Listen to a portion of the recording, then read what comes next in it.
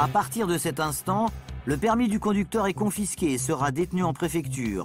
L'homme ne pourra le récupérer que dans six mois, après avoir repassé le code. Une nouvelle qui n'a pas vraiment l'air de l'émouvoir. Je vais reconduire. Eh bien, vous conduisez si vous voulez conduire sans permis. Faites-le. Quand on sait que c'est un délit puni d'une peine d'emprisonnement. Si vous regardez, je me suis fait arrêter huit fois, je m'en fous. Ok, ça marche. Devant l'officier de police judiciaire, l'homme se vante ouvertement d'être un chauffard qui ne respecte aucune règle, alors le ton monte rapidement. Je ne savais pas si j'aurais le permis, je ne me serais pas arrêté. Si Mais t'as regardé mes anciennement Non, mais c'était comme moi à part. Un me prend pour qui Tu prends Ça, c'est vous, c'est pas tu. Oh, monsieur Tu- Oh, pas monsieur, vous lancez pas les choses Quelques minutes plus tard, les policiers finissent par apaiser le conducteur. L'homme a enfin compris qu'il n'aurait pas le dernier mot.